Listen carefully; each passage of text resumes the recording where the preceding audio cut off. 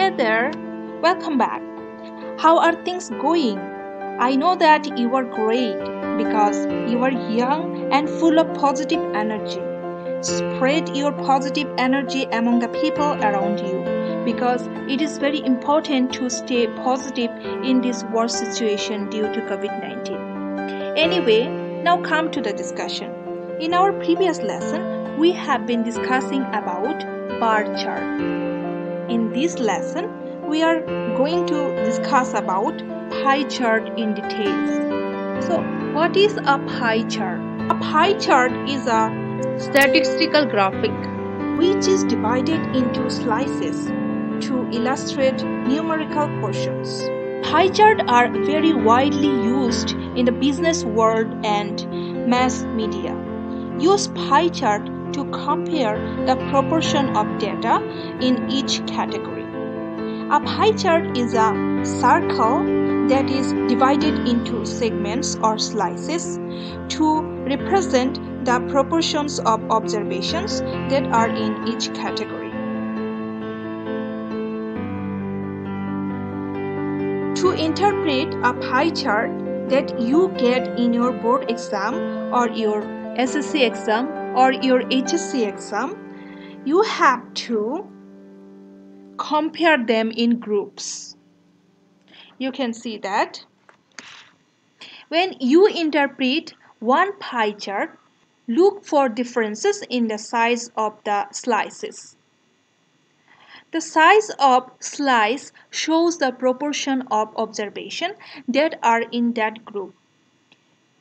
When you compare multiple pie charts, look for differences in the size of slices for the same categories in all the pie charts.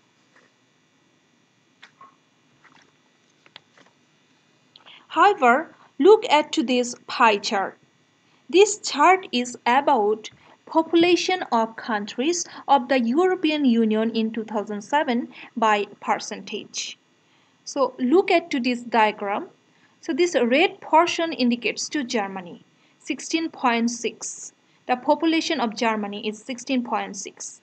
So this blue portion indicates to France, 12.8% population. France belong to 12.8% population. This yellow portion indicates to United Kingdom and this orange portion indicates to Italy. Maroon indicates to Poland and this gray portion indicates to all other countries. Pie chart normally show proportion which can be measured in percentages or fractions. This chart shows the relative size of populations of countries of the European Union in 2007. So we can only make comparisons. We cannot say anything about change we can see that the country with the largest population was Germany with 16.6% of the European Union's population. We can also see that the second largest population was that of France with 12.8% of the population. We do not know from this chart which country has the smallest population because the 21 smallest countries are included in one group. If you are interested, then I'm telling you, it is Malta with less than 0.1%.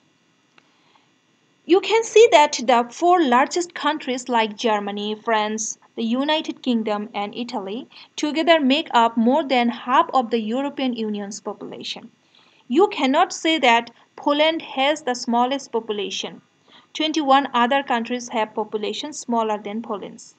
The 21 smallest countries of the European Union make up nearly 30% of the populations. So what have we understood by reading this analysis? So look at to this first section. So here we can see the introduction. This is the introductory paragraph of this analysis. Here you can see the message of the diagram. And finally, you can see the conclusion. Okay. From this analysis, we can find some important points. So look at to this point, use of tenses. Mind the correct use of tenses when describing a chart. If the chart deals with facts in the present, as in our example, use the simple present. If the facts are the past, then use simple past. If there is a connection between the past and present, then use present perfect. So how to describe a chart? With following example, we would like to show you how charts are described. Mind the three parts and do not repeat the global message in the conclusion, right? So first you have to maintain introduction. Here you say that the diagram is about uh, mind the title of it and do not forget to include the source. Okay, then you have to write down the message of the diagram and after that finally you have to write down the conclusion. So these three parts are much more important in analyzing a graph chart or pie chart. List with paraphrases to describe charts.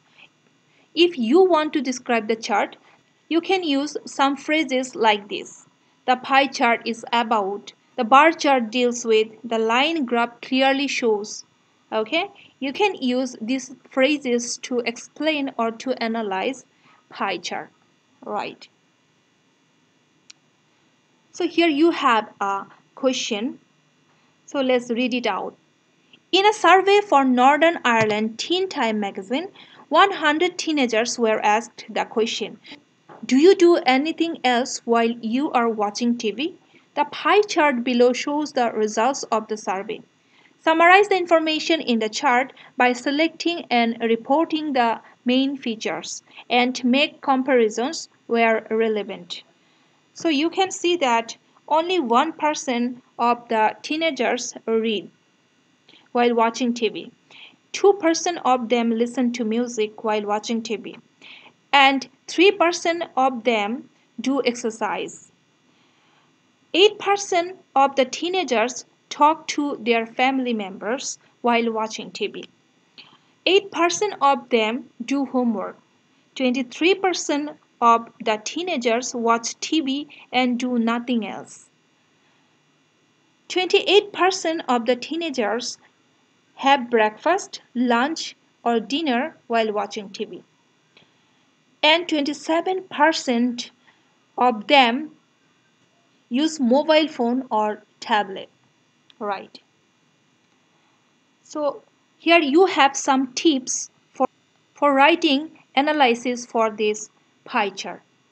So number one, start by saying exactly what the pie chart shows. Number two, the second sentence in the introduction should summarize the single most important thing from the chart.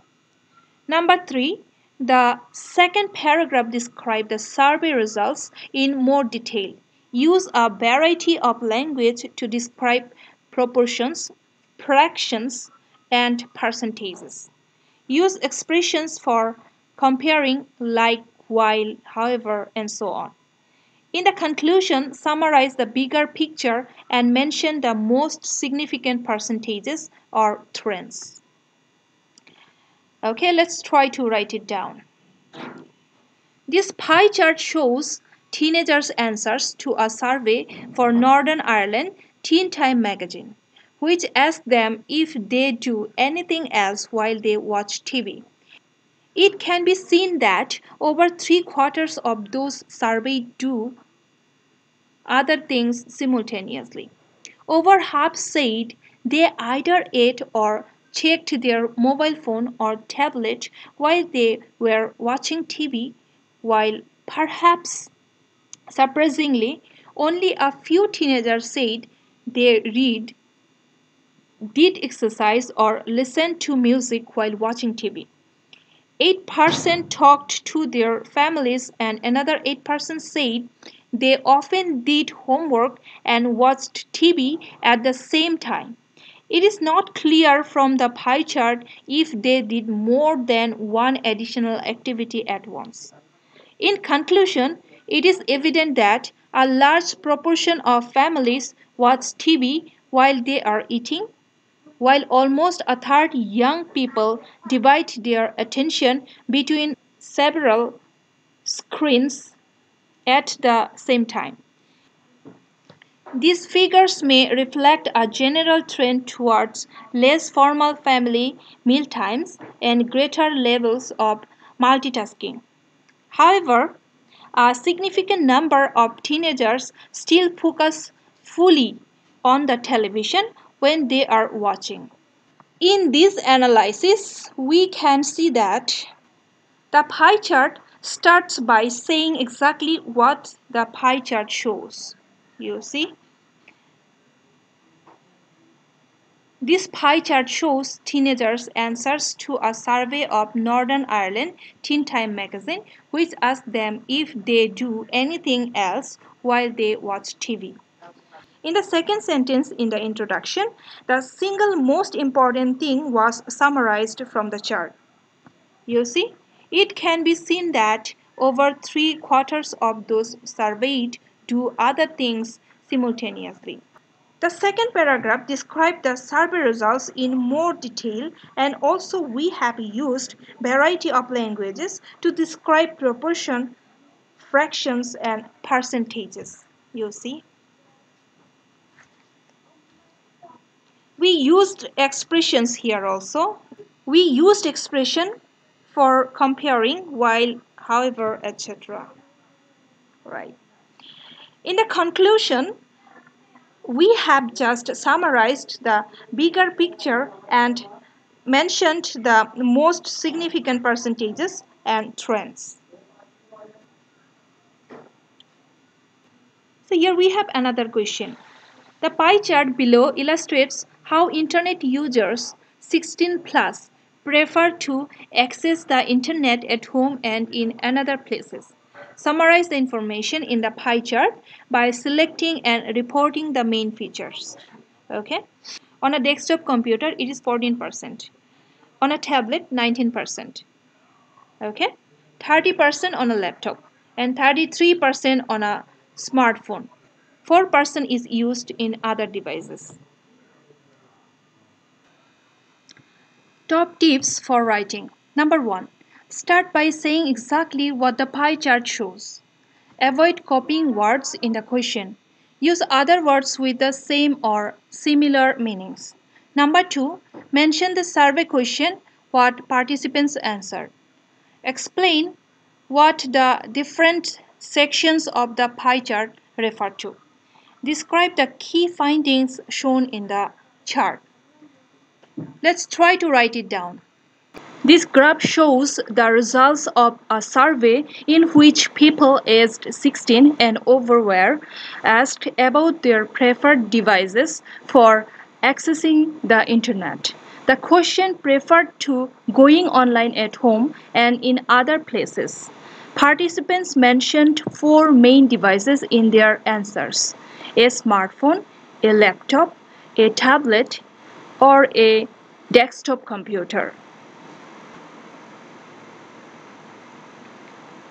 From the pie chart, it is clear that the majority of participants prefer to use smartphones and laptops with just 3% difference between the two. Nearly a third of participants prefer to go online with a smartphone. 30% like to use a laptop. A desktop computer accounts for 14% of users preferred devices. Only a small minority prefer a device other than these main four. In conclusion, since mobile and portable devices are in the most popular choices, it is clear that many participants are accessing in the internet outside their homes. The desktop computer is the least computer of the four main and more people accessing the internet with smartphones and their preferred choice. So how we analyzed this pie chart? At first, we have started by saying exactly what the pie chart shows. Secondly, we have mentioned survey question Thirdly, we have explained the different sections of the pie chart. Okay, we have also described the key finding.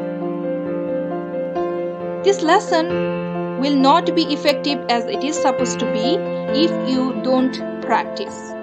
So here's a home task given for you. Try to do it by yourself and submit it to the comment box.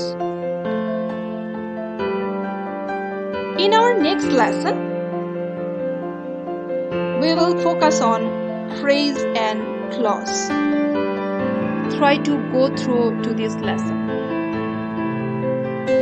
This is the end of today's lesson. Take care, stay home, stay safe. Thanks a lot.